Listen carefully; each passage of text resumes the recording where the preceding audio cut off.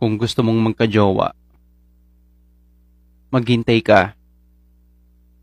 Hindi yung mga agaw ka.